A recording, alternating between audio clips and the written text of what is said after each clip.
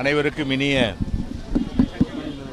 சுதந்திர தின நல்வாழ்த்துக்களை மகிழ்ச்சியோடு தெரிவித்துக் கொள்கின்றோம்.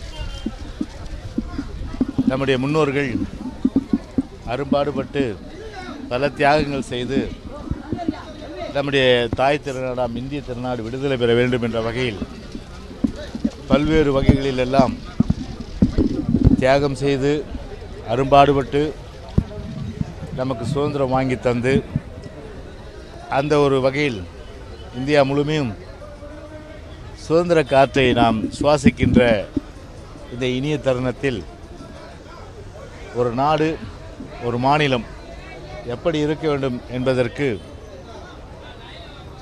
உண்ண உணவும் உடுக்க உடையும் இருக்க இடமும். இது மூன்றும் ஒரு மனிதனுடைய அத்தியாவசியம்.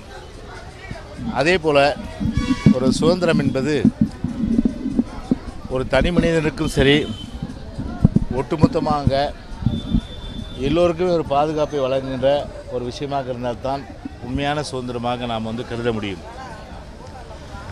அந்த வகையில் இன்றைக்கு தமிழ்நாட்டை பொறுத்தவரை சுதந்திரம் பெற்று சுதந்திர தினத்தை கொண்டாடுகின்ற இந்த இணைய வேளையில் நேற்றைய தினம் கூட வங்கியிலே ஒரு மிகப்பெரிய ஒரு கொள்ளை நடைபெற்றிருக்கின்றது. ஏறக்குறைய இருபது கோடி ரூபாய்க்கு மேலே முப்பது கிலோ தங்கம். அது அப்படியே வந்து வங்கியை லாக்கரை உடைச்சி அபேஸ் பண்ணி போயிட்டாங்க. ஒரு heart of the city Chennai எடுத்துக்கொண்டால் தமிழ்நாடுனுடைய ஒரு தலைநகரம் என்று சொல்வார்கள். ஆனால் இப்போது தலைநகரம் கொள்ளை நகரமாக கொலை நகரமாக மாறிவிட்டது தான் மிகவும் வந்து இந்த சுதந்திர தினத்திலே வந்து நாம் வருத்தப்படக்கூடிய ஒரு விஷயமாக இருக்கின்றது. எனவே கொலை கொள்ளை ஆள் கடத்தல் கட்ட பஞ்சாயத்து இதெல்லாம் சர்வசாதாரணமாக நடக்கின்ற ஒரு மாநிலம் நம்முடைய தமிழ்நாடு என்கின்ற அளவிற்கு இருக்கின்ற நிலைமையை தான் நான் நிச்சயமாக இந்த சுதந்திர தினத்திலே வந்து நான் சொல்லி ஆக வேண்டும்.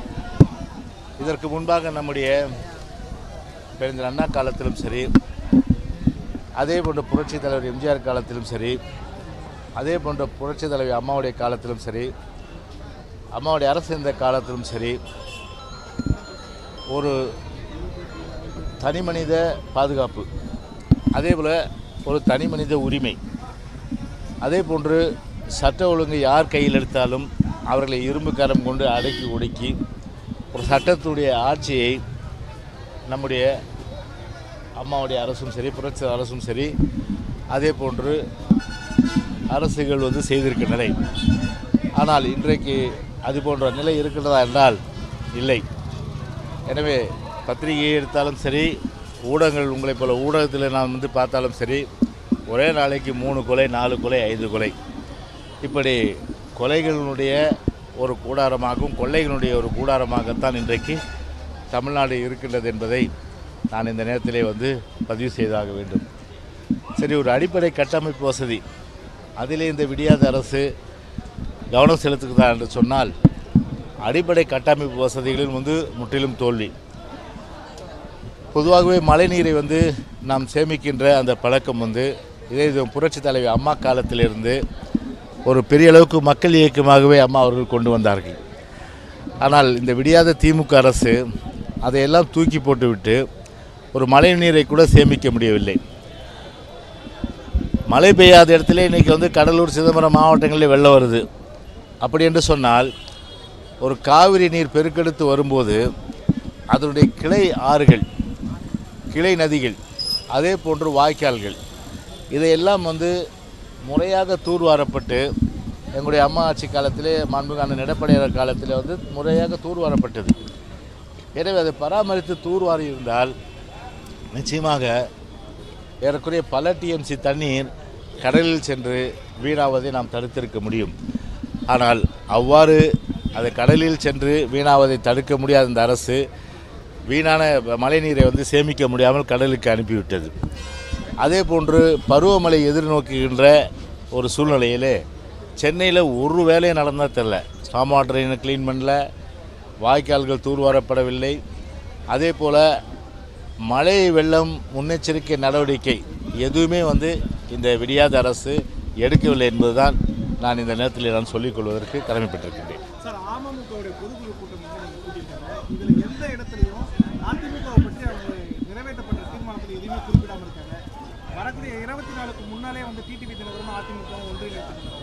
இல்லை அது பல தடவை வந்து நாங்கள் சொல்லிட்டோம். அந்த மாதிரி வந்து ஒரு வாய்ப்பே இல்லை. வாய்ப்புன்றது ஒரு நூறு சதவீதம் இல்லை. பத்தாயிரம் சதவீதம் கிடையாது. அதுக்கு மேலே லட்ச சதவீதம் போட்டுருங்க கோடி சதவீதம் போட்டுருங்க. அதுக்கு வந்து வாய்ப்பே இல்லை. அதனால் ஒரு பாசாங்கு வந்து ஏதோ வந்து திடீர்னு ஒரு கட்சி வந்து புரட்சி தலைவர் வந்து கண்ட சின்ன ரெட்டலை. அந்த ரெட்டலைக்கு ஒரு மகத்தான வெற்றியை தேடி தந்தவர் புரட்சி தலைவர் எம்ஜிஆர். அந்த ரெட்டலைக்கு மகத்தான வெற்றியை தேடி தந்தவர் புரட்சி தலைவி அம்மா. அந்த ரெட்டலையே எதிர்த்து நின்று அம்மாவுடைய அரசே கவுள் கவுள் கவிழ்க்க நினைத்தவர்கள். அவர்கள் போய் இன்றைக்கு வந்து ஒரு பாசாங்கு செய்வது போல். அதாவது வந்து என்னென்னா வந்து பசுத்தோல் பூர்த்திய பசுத்தோல் பூர்த்திய நரின்னு தான் சொல்லுவேன். புலின்னு கூட சொல்ல மாட்டேன். அந்த மாதிரி வந்து ஒரு ப பசுத்தோல் போத்தின்னு நாங்கள் வந்து அதிமுக விமர்சனம் பண்ணல. அதனால் வந்து நாங்கள் வந்து அதிமுகவோட ஒன்றை ஒருங்கிணைந்து போகிறோன்னா நிச்சயமாக அவங்க நினைக்கலாம். ஆனால் எங்கள் கட்சியில் உள்ள தொண்டர்களும் சரி எங்கள் கட்சியிலும் சரி யாருமே சரி திரும்ப சசிகலாவும் சரி அதே போன்று திரு தினகரும் சரி ஏற்றுக்கொள்வதாக இல்லை.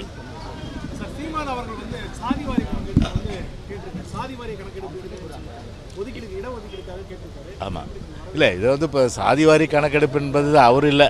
எல்லாமே தான் கேட்டுட்டு இருக்காங்க. அதனால் வந்து இது குறித்து வந்து முடிவு செய்ய வேண்டியது மத்திய அரசு தான் அது.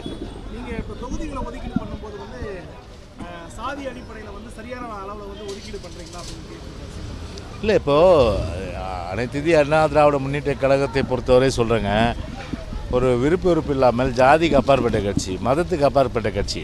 இங்கே வந்து எல்லோருமே வந்து எல்லா முக்கியத்துவம் கொடுக்க வேண்டும் என்ற அடிப்படையில் தான் வந்து அம்மாவும் சரி புரட்சியர் காலத்தில் சரி அம்மாவுக்கு பிறகு சரி கட்சியிலும் சரி ஆட்சியிலும் சரி ஒரு பிரதிநிதித்துவம் கொடுக்கப்பட்டது.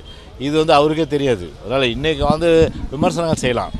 இதே கட்சியில் இருந்தவர் தானே முன்னாடி அவர். அதனால் இப்போ வந்து என்ன செஞ்சால் விமர்சனம் எடுபடுன்னு சொல்லிட்டு அதுக்கேற்ற மாதிரி விமர்சனம் வந்து செய்தால் வந்து அது எடுபடுன்னு பார்க்குறாரு. நிச்சயமாக அவர் என்ன சொன்னாலும் எடுபட போகிறது கிடையாது. மற்றவங்க அரசு வந்து வாய்ப்பு தர மாட்டீங்களா? நீங்களே தான் கேட்டுன்னு இருப்பீங்களா கேள்வியை? அதாவது ரெண்டு பேர் மேலேயும் தப்பு இருக்குது இல்லையா? இவர் வந்து பொறுத்தவரையில் வந்து ஒரு தகுதி இருக்கான்னு கேட்டு தான் தப்பு. அவங்க செருப்பு விஷயம் தப்பு. அதனால் ரெண்டு பேருமே அந்த தப்பு செஞ்சுருக்காங்க. அவ்வளோதான் நான் சொல்ல முடியும். செஸ் ஒலிம்பியாட் வந்து இந்த அரசு வந்து சிறப்பான முறையில் செயல்பட்டு நான் ஏற்கனவே சொல்லிட்டேன் இது. இப்போ இதை விட நாங்கள் சிறப்பாக செஞ்சுருப்போம். எப்படின்னு சொல்கிறீங்கன்னா இப்போ சாப் கேம்ஸ் இருக்கு இல்லையா? நைன்டீன் நைன்டி சிக்ஸில். அப்போ அம்மா அமைச்சர் நானும் தான் அமைச்சராக இருந்தேன். பிரம்மாண்டமான நேரு ஸ்டேடியம் வந்து பதினெட்டு மாதத்தில் கட்டினாங்க. பதினெட்டு மாதத்தில் பதினெட்டு மாதத்தில் பிரம்மாண்டமான நேரு ஸ்டேடியம் கட்டினாங்க. Velachery swimming pool indoor stadium outdoor stadium சென்னையில் சுற்றி கட்டினாங்க. அப்புறம் ஸ்டாஃப் வில்லேஜ் இங்கே கோயம்பேடில். இதெல்லாம் அம்மா காலத்தில் உருவாக்குனது. அதே மாதிரி ஒரு ஆக்கப்பூர்வமாக வந்து ஒரு அசட் எதை க்ரியேட் பண்ணாங்களா? செஸ் நினைவா? ஒன்றும் இல்லையே. சும்மா வந்து என்ன பண்ணாங்க? ஒரு அவங்க ஃபேமிலி உட்காந்து பார்க்குறதுக்கும் அவர் வந்து கோட் ஷூட்டில் வர்றதுக்கும் அதே மாதிரி முதல் நாள் வேட்டியில் வந்ததுக்கும் ஒரு ஃபோட்டோ ஷூட் நடத்தி ஒரு பெரிய அளவுக்கு வந்து வந்து பிரம்மாண்டமாக வந்து நேரு ஸ்டேடியத்தில் பல லட்சம் கோடி ரூபாய் செலவு செய் பல கோடி ரூபாய் செலவு செய்து ஒரு விளம்பரப்படுத்துகிற ஒரு விஷயமாக தான் அவங்கள அவங்க குடும்பத்தையும் அவரையும் விளம்பரப்படுத்துகிற விஷயமாக தான் பார்த்தாங்களோ ஒழிய. அதனால் வந்து ஒரு இம்பேக்ட் வந்து என்ன அசெட் வந்து சென்னையில் வந்து ஒரு செஸ் நினைவு ஏற்பட்டாங்க? ஏதோ ஒரு செஸ் வில்லேஜ் க்ரியேட் பண்ணிங்களா? இல்லை செஸ்ஸு போட்டி நடந்ததை வச்சு ஒரு ஆயிரம் கோடி ரூபாயில் வந்து ஒரு பெரிய அளவுக்கு ஒரு ஸ்டேடியம் ஏற்படுத்தி இது நினைவாக பண்ணிங்களா? அசெட் எதுவும் க்ரியேட் பண்ணலையே.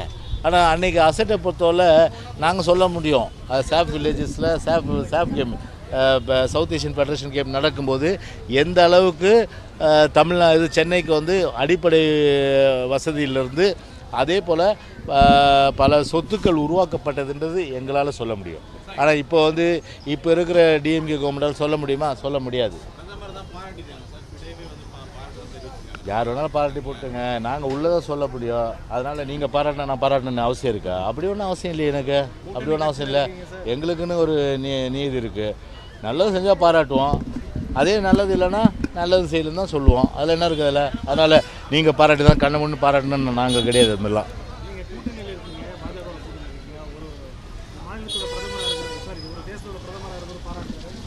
இல்லை அவங்களுடைய கருத்துங்க அது பாராட்டுறதுன்றது. இப்போ எங்களுடைய கருத்து வந்து பார்த்தீங்கன்னா நாங்கள் இதோட சிறப்பாக செஞ்சுருக்க முடியும். என் பா எங்கள் பாயிண்ட் என்னென்னா வந்து இப்போ விழா நடத்துனீங்க. இப்போ அந்த ஹோட்டலுக்கு பார்த்தீங்கன்னா மகாலிபுரத்தில் ஹோட்டலில் பத்து நாளைக்கு முப்பது கோடி ரூபா பில் போட்டிருக்காங்க. பத்து நாளைக்கு முப்பது கோடி ரூபா பில்லு பத்து ஒரு ஹோட்டலே கட்டிடலாம். பத்து நாளைக்கு முப்பது கோடி ரூபாய் பில்லு இது எங்கே போய் சொல்கிறது இது? இதெல்லாம் வந்து என்ன நடந்தது தெரியாது. அது விசாரிச்சா தான் தெரியாது அது என்ன அது விசாரித்தா தான் தெரியும். அது விசாரிச்சா தான் தெரியும் அதனால். ஊழல் கூட இருக்கலாம் கமிஷன் கூட இருக்கலாம் கலெக்ஷன் கூட இருக்கலாம் கரப்ஷன் கூட இருக்கலாம். போதுமா? ஏங்க ஒரு கேம் வந்து நம்முடைய சென்னையில் வந்து வருதுன்றது தமிழ்நாட்டுக்கு வருதுன்றது நல்ல விஷயந்தான் அதில் எனக்கு மா எங்களுக்கு கட்சிக்கும் மாறுபட்ட கருத்து கிடையாது. ஆனால் அது நீங்கள் கேட்ட கேள்வி வந்து அது சிறப்பாக நடத்திங்களா இல்லையான்னு கேட்டால் எங்களை பொறுத்தவரை நாங்கள் சிறப்பாக நடத்தியிருப்போம். ஆனால் இதில் வந்து பார்த்திங்கன்னா ஒரு அசட்டோ மற்ற இதுவும் வந்து இதை வச்சு வந்து சென்னையில் வந்து நல்ல டெவலப்மெண்ட் ஆக்டிவிட்டிஸ் கொண்டு வந்திருக்கலாம். அதை வந்து கொண்டு வரலன்னு தான்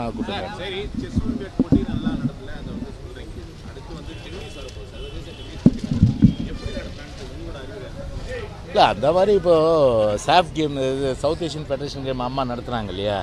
அந்த மாதிரி நிறைய வந்து அசட்டை க்ரியேட் பண்ணி ஒரு ஒரு ஒரு நினைவார்த்தமாக இப்போ பேனா வந்து அவங்க அப்பாவுக்கு வந்து நினைவு சின்ன வைக்கணும்னு சொல்லி கடலுக்குள்ளே வைக்கிறதுக்கு எண்பது கோடி செலவு பண்ணுறேன் அது மாதிரி வந்து செஸ் போட்டி வர்றதா மாதிரி ஒரு பெரிய அளவுக்கு வந்து ஒரு நினைவாக வந்து ஒரு பெரிய ஆடிட்டோரியம் கட்டியிருந்தால் நல்லா இருக்குமே ஒரு நூறு கோடியில். அதே போல் பெரிய ஸ்விம்மிங் பூல் கட்டியிருந்தால் நல்லா இருக்குமே. அதே போல் நிறைய விஷயங்கள் வந்து நல்ல ஸ்போர்ட்ஸுக்கு வந்து இம்பார்ட்டன்ஸ் கொடுக்குறதுல வந்து ஒரு ஆயிரம் கோடி செலவு பண்ணிக்கலாமே. எண்பது கோடி ரூபா அதுக்கு செலவு பண்ணுறதுன்னு மட்டும் ஒரு கொள்கை முடிவெடுத்து அதில் குறியாக இருக்கீங்க நீங்கள் அது ஒரு சென்னையினுடைய அடையாளம் நம்முடைய மீனவர் பழங்குடியினர். அவங்க அடையாளத்தை அழித்து அவங்க வாழ்வாதாரத்தை அழித்து நீங்கள் வந்து கொண்டு வரலாம் நினைக்கிறீங்க. மீனவர்கள் இன்றைக்கி எதிர்ப்பு தெரிவிக்க ஆரம்பிச்சிட்டாங்க இன்றைக்கி மற்ற அமைப்புகளும் எதிர்ப்பு தெரிவிக்க ஆரம்பிச்சிட்டு ஒரு வாட் இஸ் தி இம்பேக்ட் சும்மா வந்து ஒரு விழான்னு போட்டு அதில் வந்து ஒரு தன்னை முன்னிலைப்படுத்துகிறத விட அந்த ஒரு எந்த கேமாக இருந்தாலும் சரி அந்த கேம் வர்றதுனால development of Chennai development of state அதுதான் நான் வந்து சொல்கிற விஷயம். போதுமா இன்றைக்கி ஃபஸ்ட்டு சொல்லிருக்கலாம்ல அதை. ஏன்னா ஒரு பொது நலன் கருதி யார்? பொதுவாகவே அதான் நான் சொன்னேன். இப்போ ஒரு ஒரு இன்ஃப்ராஸ்ட்ரக்சர் வந்து கிரியேட் பண்ணி அரசு கொடுக்கும். ஆனால் அந்த இன்ஃப்ராஸ்ட்ரக்சர் கிரியேட் பண்ணி கொடுக்கும்போது அதை மெயின்டெனன்ஸ்ன்றது முக்கியம். இப்போ உதாரணத்துக்கு இப்போ இங்கேயே நம்ம ஜெயராம் வந்து இன்றைக்கி வந்து இந்த நிகழ்ச்சி ஏற்பாடு பண்ணவர். அவரே ஒரு கருத்தை என்ன சொல்கிறார் ஒரு குற்றச்சாட்டை சொல்ல. அம்மா வந்து காலத்தில் உருவாக்கி புரட்சியர் காலத்தில் உருவாக்கி நல்ல சிறப்பான முறையில் மெயின்டைன் பண்ணப்பட்டது. ஆனால் இன்றைக்கி மெயின்டெனன்ஸ் இல்லை. அந்த மெயின்டெனன்ஸ் இல்லைன்னும் போது அந்த இன்சார்ஜ் இருக்க டிஆர்ஓக்கு பப்ளிக்கோ இல்லைன்னா ஒரு சங்கமோ ரெப்ரசன்ட் பண்ணால் உடனடியாக நடவடிக்கை எடுக்கணும் ஆனால் ஒரு ஃபோனே எடுக்காத ஒரு டிஆர்ஓ இருக்காருன்னா இப்போ எந்த அளவுக்கு வந்து ஆஃபீஸர் இன்றைக்கி இருக்காங்க பார்த்துங்க அதனால் இன்றைக்கி தலை சரிந்தால் தான் வால் நல்லாயிருக்கும் அதனால் தலையே சரியில்லைன்னும் போது யார் தலை? உங்களுக்கு தெரியும். ஸ்டாலினே முதலமைச்சராக வந்து அவர் நிர்வாகத்தை வந்து செம்மைப்படுத்தி சீர்படுத்தி தூய்மைப்படுத்தியிருந்தால் எல்லாம் பயப்படுவாங்க. யாரும் அதிகாரிகள் பயப்படுறது கிடையாது. அதனால் வந்து அவங்க இஷ்டப்படி நடக்கிறாங்க. ஒரு அடிப்படை கட்டமைப்பு வசதி ஒரு குப்பை எடுக்கிறது இல்லை.